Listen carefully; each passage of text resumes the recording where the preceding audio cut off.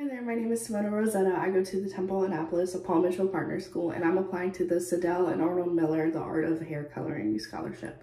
So my creative vision for the first photo I submitted was I just was really thinking of something like warm and something that was still gonna brighten my client up. And that's what I ended up coming up with. And then for my last two photos, my creative vision was I just really like playing with color. I find it very fun. I think it's really interesting all the things you can do with it. So I kind of just had a little time to play around with color and I really like what I came up with. Hair coloring is my passion because I find it extremely interesting. I love the process of it. I love watching the before and the after and seeing how everything turns out. It's just extremely interesting to me. Receiving the scholarship is going to impact my life because it's going to allow me to further my education and continue on learning more and more techniques and just continue to educate myself, which is one of the most important things you can do in this career. Thank you so much for your time.